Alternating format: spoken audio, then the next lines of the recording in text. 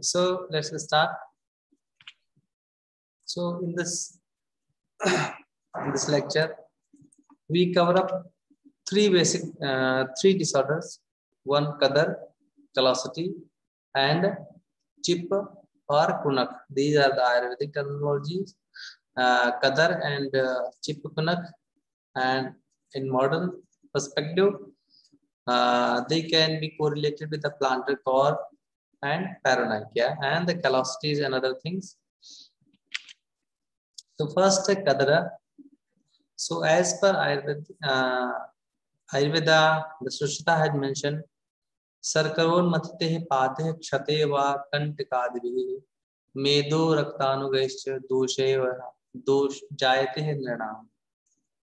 सकील कठिनो ग्रंथर निम्न मध्यो उन्नतो अपि वा कोल मात्रम सारुक श्रावी जायते कदरस्तु सा uh, uh, first the etiology that sarkaran mathite pade kshate va kantikadi means when somebody some person walk with a barefoot so it's it's more uh, it's very much likely that that person can hurt with this this sharp as well as the uh, blunt objects just like the stones, pallets, thorns, and some sharp object too, just like uh, sorry thorns and the pallets. So due to this, uh, this these kind of the injuries, this kind of the short of the injuries that which uh, patient may not notice, person may not notice. So that kind of the injuries aggravates the dosas. So when these dosas accumulate with the dhatus, medu and rakta dhatus, then they produce the small, small uh, swelling, uh, elevated structures uh, that has the uh, size up to a coal. You know, coal.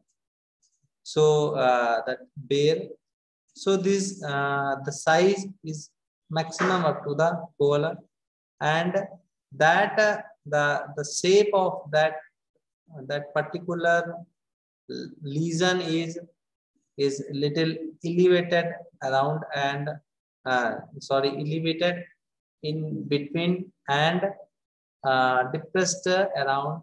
And uh, that that uh, that particular swelling if got infected means if it is uh, got paka so then there is maybe there must be some discharge and that swelling is extremely painful when patients walk. Understand? So this is the explanation that Sushruta says that uh, behind the development of kadra that patients who usually walk with a bare foot. So due to the injuries with these pallets, thorns, and the sharp or the blunt objects, but patient may not notice that, that due to this, uh, this multiple short injuries, patient may have aggravated dosas, which may, which they collaborate with dhatus, mans, and rakta. Then they produce the lesions that which is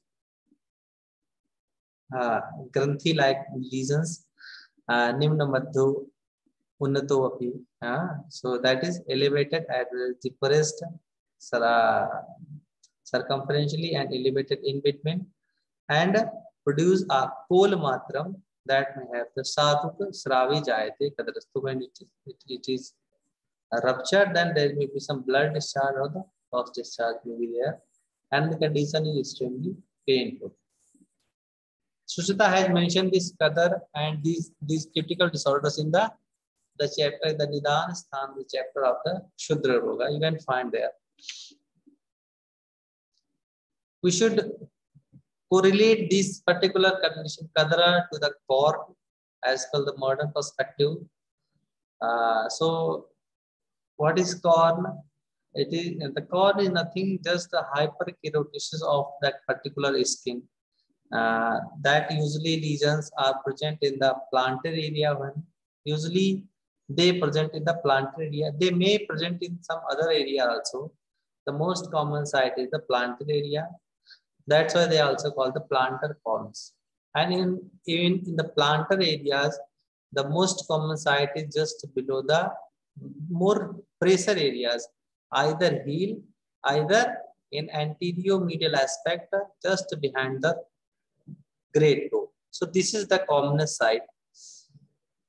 Histologically, it is composed of the keratin masses with intact basal layers. You know, the, in, in the skin, there is the basal layer, the keratin layer. So there is the hyperkeratosis.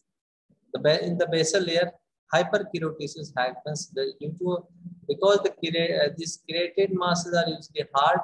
So that's why they attain uh, a uh, shape like a diamond shape as outer uh, uh, outer aspect throughout the uh, toward the skin.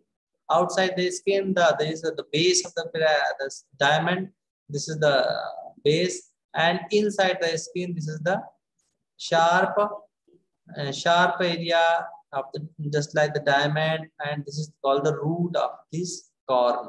So, because this is the hard structure and it has a sharp shape, so when the patient walks so due to the uh, when the pressure is applying over this this base, this root, this particular sharp areas, it uh, touches to the, the plantar fascia and uh, inside the muscles and creates the pain. So the patient have unable to walk and have difficulty in the walking. Uh, so the the reason behind its painful condition it is it's the shape the root the clinical features includes usually the patient of the middle age or the old age uh, commonly uh, uh, counter these conditions but it may occurs in uh, it may also occurs in some uh, early adults or the children's uh, children condition children's because they also walk at the play with the barefoot. So, but uh, in the children's, uh, the, uh, the treatment especially is not required, just advice to uh, keep footwear on and uh, while the playing and walking. And condition is usually self-limiting in the children's, but in the adults, it is not a self-limiting. Treatment must be done because usually the common complaint is the pain while the walking. In the rest condition, there is no pain. When there is a pressure is applied, then there is no pain. But if the, the condition is worsened, when basically if it got secondary infection with, with bacterial infection, uh, especially the staphylococcus infections. So if that particular condition got infected and the suppuration happened, so in that condition, this condition is very much painful because of the collection of pus below this, this, this particular corn and then condition is very much uh, painful because of the cellulitis of the nearby tissue, collection of the pus inside. In that condition, active management is required. So what should be the active management? In the case of that, if uh, infection is not there, only the patient comes with a corn and there is no secondary infection, it means there is no severity of the pain, patient uh, having the pain while the walking only. And condition is not very much chronic, mean, means the patient comes to you early. So in that conditions, this corn cap application is very much helpful. Corn cap is nothing, just a, just a a hard ring like structure and in between ring this is the softest uh, softer uh, area and it, it is applied over a tape just like the handyplasty we applied over the minor injuries so you have to just apply this corn cap over the corn and you have to this hard part hard part of the corn, the, the base of the diamond uh, you should should keep inside this circle inside the circle and the ring should be around this corn. Means the size, the shape of the uh, the size of the corn should be small. In that condition, only this corn cap is applicable, and just apply this this, this uh, just apply this corn cap over the corn and then you advise the patient to wear the footwear and he or she can walk. After two to three days, you just uh, remove this corn cap and again apply new one. So what happened when the application, with the application of the corn cap, patient walks. So due to the pressure of these rings, due to applying pressure of these rings, that because the nearby structure is soft and corn is the heart which is embedded inside this, uh, this tissue. So when the ring pushes this, uh, this soft tissue and, and uh, the heart tissue is free, so that heart tissue is moves towards the outside the skin with a negative pressure over the ring uh, due to applying the pressure over the ring. So while the patient walking with a weight, that the negative pressure is applying over the corn and corn, corn becomes superficially. So with the application of three, two to three corn cap, this uh, this corn usually become very much superficial and then uh, uh, either you or sometimes patient also can just uh, uh, just uh, just take out from the tissue and it will uh, pain that that is painless condition and it will also means it will it remove by itself only. So nothing active management is required. Corn chem is very much effective in early conditions. Even but if only it applies if it is being applied correctly.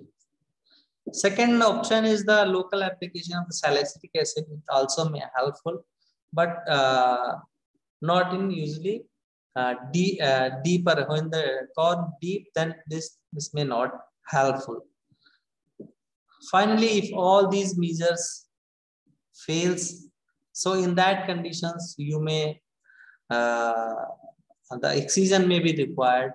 So excision must be done under the local anesthesia because without anesthesia it should not done because that condition is uh, that that baby is extremely painful. So when you apply the uh, anesthesia, so just give the local anesthesia, uh, anesthesia just below the corn root and around the uh, this complete corn and just below the root also.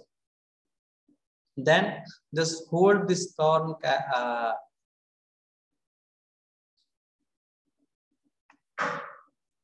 So with the, uh, the procedure of this excision, we will discuss in the next slide. And here the another option that as being Ayurvedic practitioners, Agni Karma is also very much good options. You have to just uh, do the Agni Karma, the, the, the cautery of that particular corn also. So in uh, in early stages, it's also a very uh, a very good option of the treatment.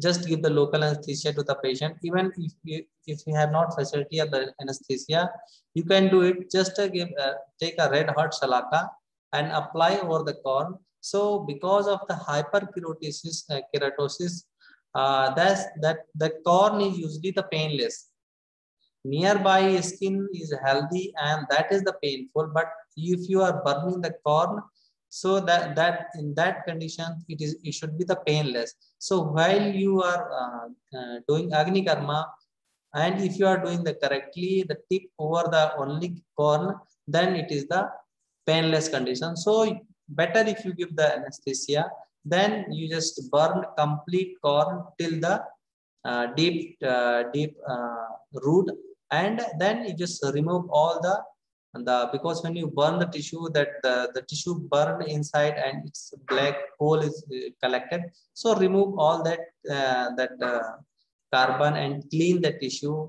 Uh, and uh, just uh, after that apply this aloe vera. So two to three three settings may be required to complete burn out the complete corn so if patient is not accept this surgery, you can advise the Agni Karma also and you can do this also. So just uh, do this. Agni Karma is also very good option. So now if you want to do the surgery only, means patient is also uh, looking for that surgery and patient is asking to just uh, uh just remove this then you go for that uh, surgical uh, surgery surgical procedures so the procedure involves first the drape and clean that area for this, you have to do all pre-operative uh, measures Then give the local anesthesia just around the corn and the base of the corn. Then hold the corn with the Allis forceps. And Allis forceps is a, uh, special kind of the forceps which having the tooth-like structure. So you can firmly hold the, uh, the corn and give a circumferential incision around the corn with the 12 or 15 number blades. And then you just apply the the pressure or, or pressure uh, little traction over the corn with the Allis forceps and you start separating this this hard uh, hyperkeratinous tissue with the healthy tissue. You can easily separate because that tissue is usually uh, hard and it, it usually separate from this uh, healthy tissue and it's uh, uh, visually also separable uh, uh, you can also differentiate the healthy tissue and the corn tissue because the hyperkeratinous tissue is always whitish and there is a um, not blood supply over there. So you can easily identify the tissue and you remove complete corn till the root of the corn. Do not leave any uh, single part inside because if you leave single part, there is a very much chance of the recurrence is there. So remove the complete corn. And how you know that you have removed the complete corn? When you remove the corn uh, root, there must be some bleeding. So if you are if you achieve the bleeding below the corn root, it means you are doing correctly. Then you just do uh, by the pressure or uh, if it is required, you apply the cautery and stop the bleeding, achieve hemostasis. Then clean that complete tissue with the betadine solution, some antibiotic solutions, and then you just do antiseptic dressing. So this is the complete procedure. You have to change the dressing to three to uh, say second day, third day, depends on the conditions. And within seven or 10 days, the wounds will be heal itself, uh, heal will heal itself and nothing is there. Similarly, in the Agni Karma also after three to five settings, complete wound will heal and nothing is required. You have to give just uh, with uh, as a precaution, one prophylaxis antibiotic may be required. And if uh, if you doing surgery, then you just advise the patient to analgesic SOS. It may be required for one or two days, uh, two days, and nothing else may be required. Patient can heal itself Callosity, it is also, it is a superficial circumscribed yellowish or white flat thickened patch of the hyperkeratic material.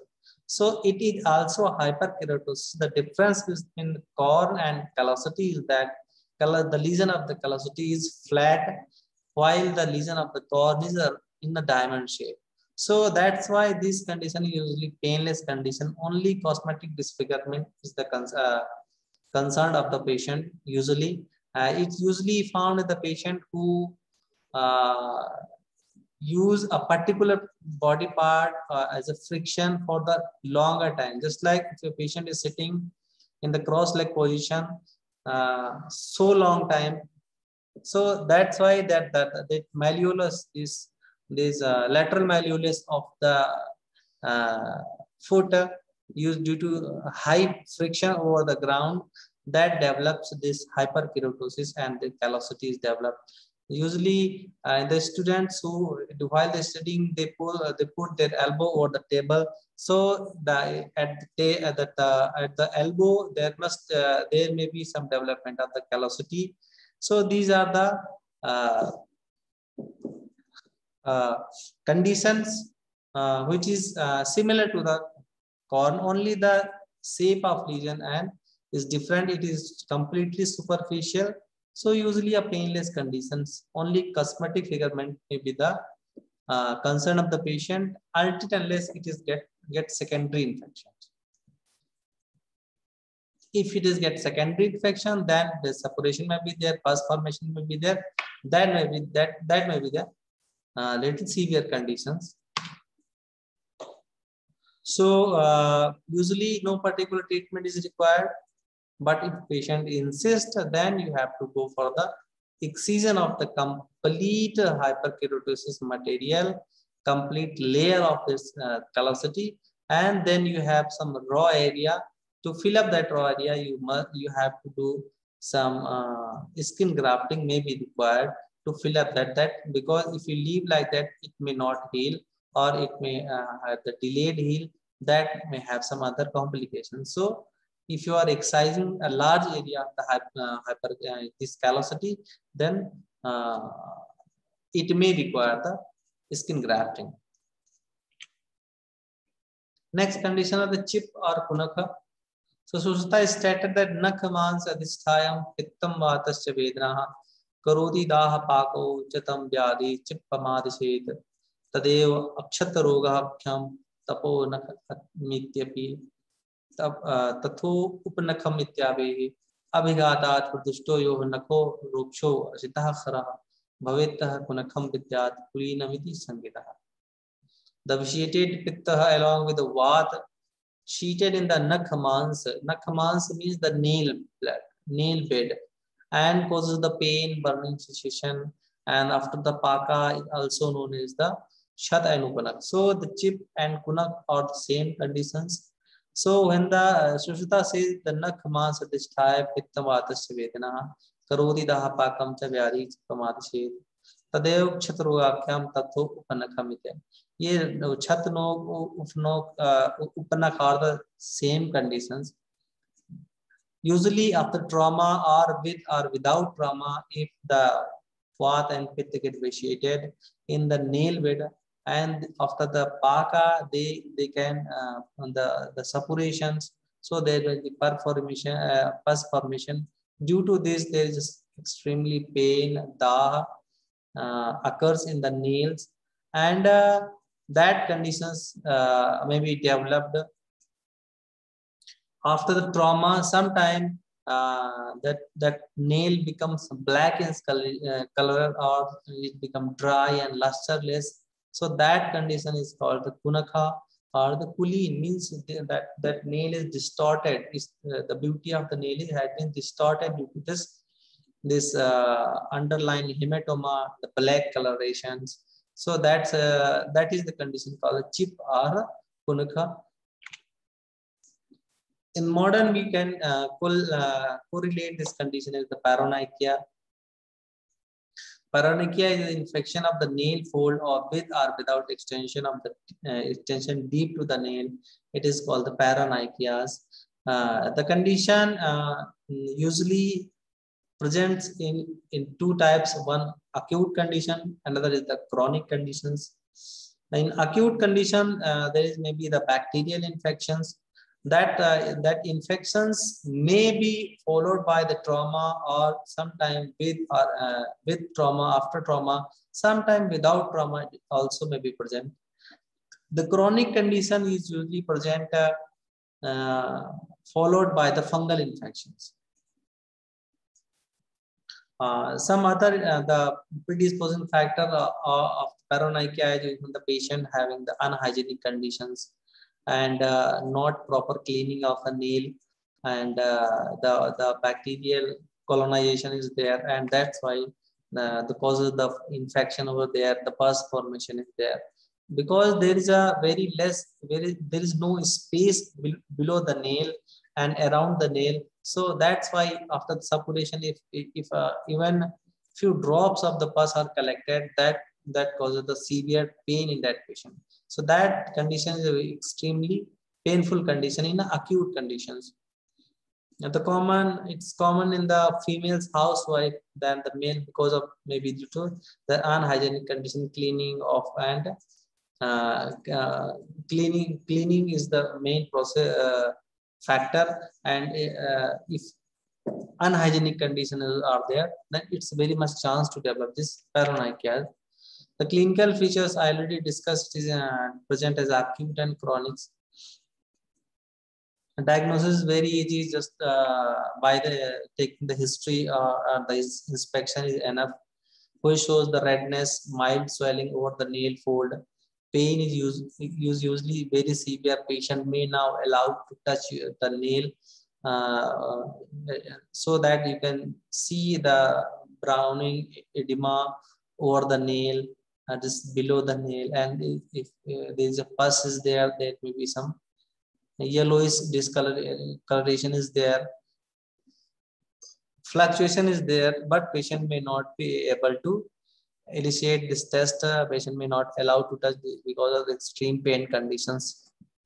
In, in chronic condition the pain reduces but the color becomes pink and not red and the nail becomes cross-ridge and pigmented means there is some disfigurement occurs in the chronic conditions in uh, acute condition, the major uh, causative organism is the staphylococcus, while in the uh, chronic conditions, the major causative factor may be the fungal infections. In chronic, more than one nail may be involved because the fungal usually spread from one nail to another nail, while the acute condition occurs only in the single nails. To confirm the diagnosis in the chronic nail condition, you can send the nail scraping to the for the histopathological examination. So they identify the fungus, so that confirm the fungal infections. You can see here, this is the acute condition where single nail is infecting.